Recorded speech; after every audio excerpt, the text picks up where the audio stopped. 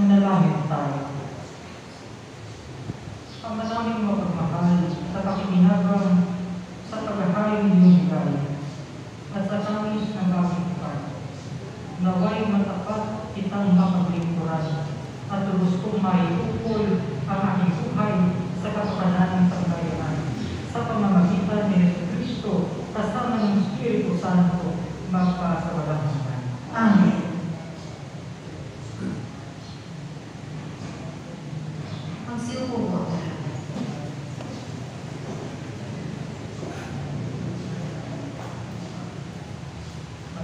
umaga po sa ating lahat. Maraming salamat po sa inyong pagdating. Bago po ang mga pasasalamat, ay nais ko muna magbigay ng ating mga token para sa mga signifikan na mga tao. Ang una po, nais nating pasalamatan si Father Budoy. Po si Father Alexis Masreto. Sa akin po sa Decoreto, kagaya ko. Father Budoy,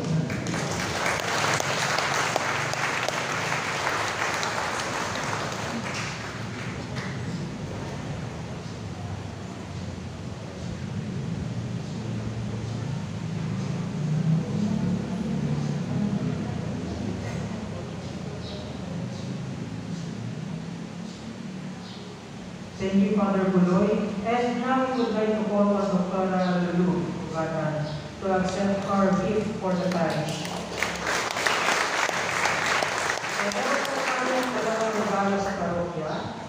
Ang una po ay si San Ezekiel Moreno. Si San Ezekiel Moreno ay patron ng mga may sakit na kanser. Nawa sa ating mga uh, narito sa ating parokya, Narito po ang isang sanso na nagdadasal para sa ating lahat. At ang pangalaw po na aming regalo ay isang kalis para sa ating parokya na talagang magbibigay sa ating lahat, maghahatid sa atin sa katawan at dugo ni Kristo. Maraming salamat po, Doktora.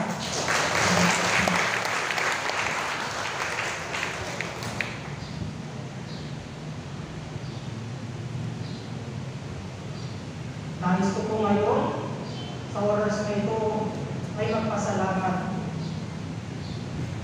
Lubos akong nagpapasalamat sa Diyos na tumawag sa akin sa bukasyon ng pagpapay. Ako at si Father Robin. At gayon din sa mga kaparikan na narito ngayon. Pinasasalamatan ko si San Pedro, ang aking patron. Pinasasalamatan ko si San Ezekiel Moreno na aming kapatid sa Recoletos. At bago ako magpatuloy sa pasasalamat, nais ko munang magbigay ng personal na testimonya kay San Ezekiel Moreno. Isang araw, ang aking ama na may sakit ng cancer ay binisita ng aking tiyahin na nagpakilala kay San Ezekiel Moreno sa kanya. Siya ay binigyan ng larawan ng santo at tinanggap niya ito ng may pananampalataya. Pagkatapos, bumalik sa aking mga tiyahin at sinabi, Ka, kagaya ng kanyang sinasabi simula nang ako'y maliit na bata pa lang. Sa oras na iyon, kinailangan kong panungin ang aking sarili. Paano ba ako magiging pari? Ako na napakaliit ng pananampalataya. Ako na halos wala naman talagang pananampalataya. Paano ako magiging pari? Pagkatapos umalis na mga bisita, sinabi ko sa aking ama, sa dinami-rami ng mga may sakit sa buong mundo, bakit sa palagay mo pa tutulungan ni Ezekiel Moreno?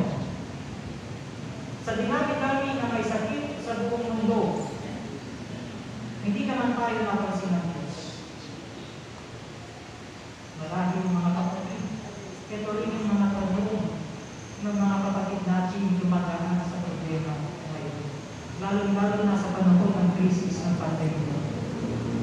Na minsan napakahirap matanaw ang presensya ng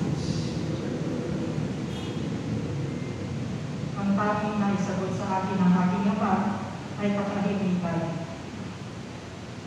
at hinayaan niya bumaba ang ating emosyon. Ang ating ama ay may sakit na cancer, physical. Ako ay may sakit na parang kagaya ng cancer, spiritual. Ang aking sakit, ang aking ama, ay nagdasal para sa akin sa intercession ni San Ezekiel Moreno. At sa oras na ito, ito yung bunga ng nagdasal ng aking ama.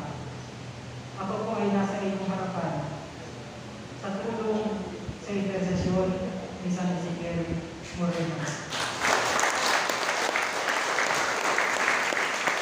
Kanina po, habang nandito pa, mga pa, ating nakilala yung mga tao dito sa simbahan. At maipakilala ko na rin sa kanila si San Ezekiel Moreno.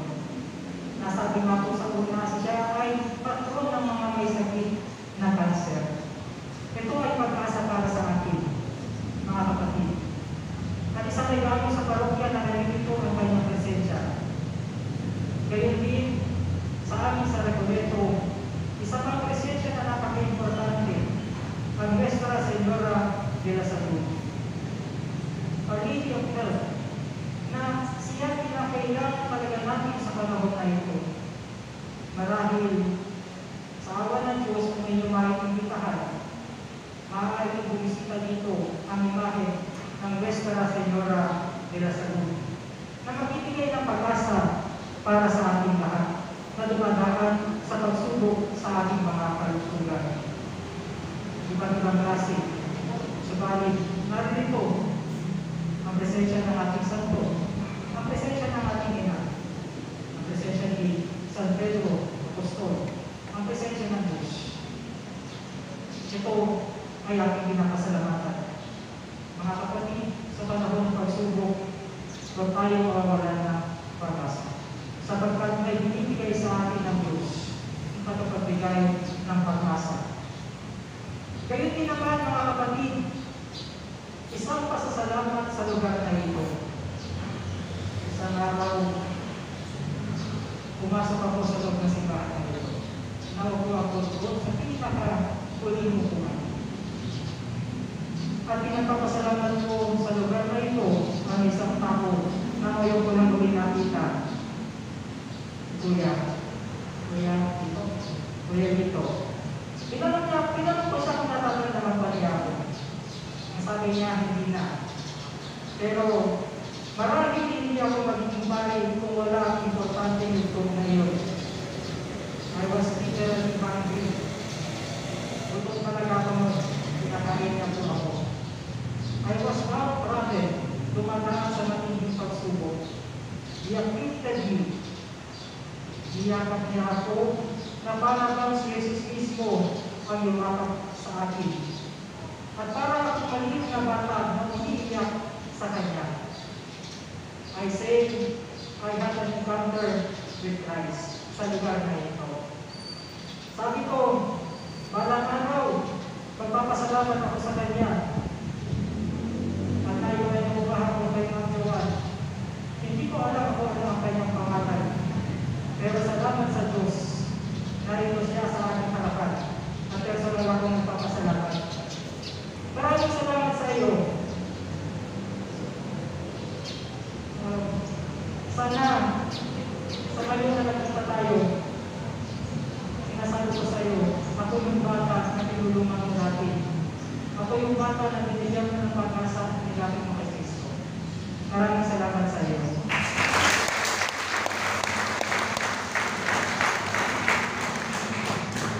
Salamat sa iyo sa Diyos, gumagawa talaga siya ng paraan. Ngayon ko lamang muli siya nakita sa matagal na panahon. Dekada. Ngayon dito, pinapasalamat ko ang ating, ating mga kapatid na Loreto. Umpisahan ko ating altar. Siyempre, si Father Alexis Mansueto.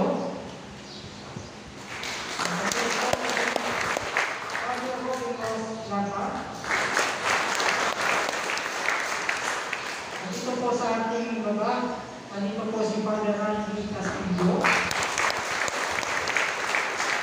At siyempre, si Father Ayan Anthony Mustafa.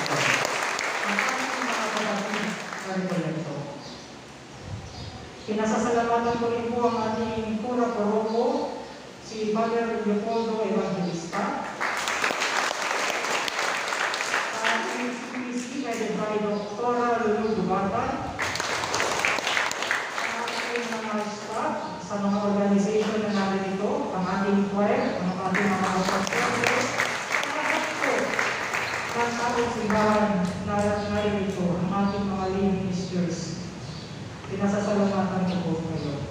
Pinasasalamatan ko po ang aking mga kapatid.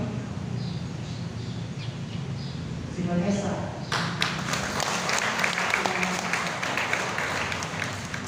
Dalawa po sila, si Kuya Eric ay nasa Davao, ang ating dalawang kapatid.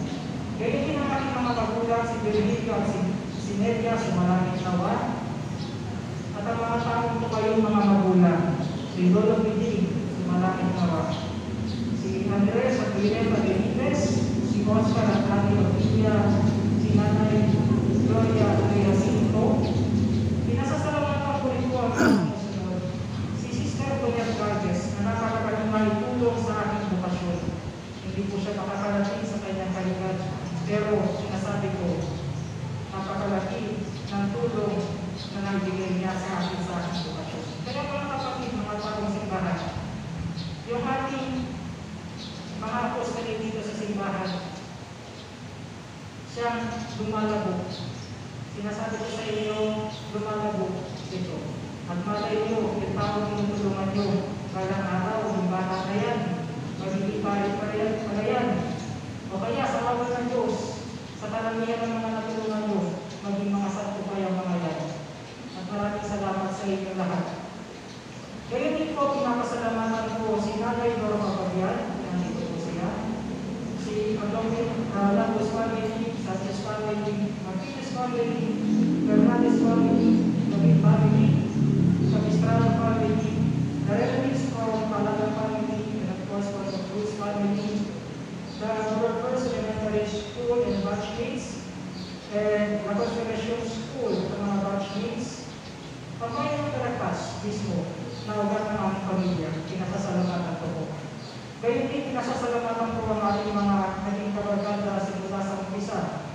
Sina Marvin, si Gord, si Jenboy, si Toy, si Earl, si Gord.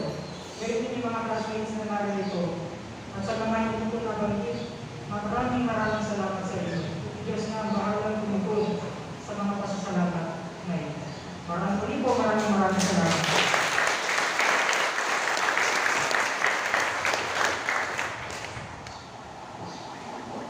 Magstayo po ang lahat. Bago po ang ating pagbabasbas, nais ko rin po pasalamatan si Brother Pampumanes, Feliciano Pampumanes. Palakpakan po natin. Ang kapatid namin po po.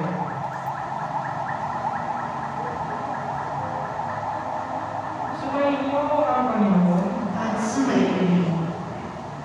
Magsiyo po kayo at hindi ng pagbabasbas. Hinihili ang aking kapatid na si Father Robin na samahan ako sa pagbabasbas bilang bago na. Pagpalain niya kayo at ingatan ng Panginoon kayo ng bangka sa walang hanggan. Amen. Naway ang pagkaliya kayo at subaybayan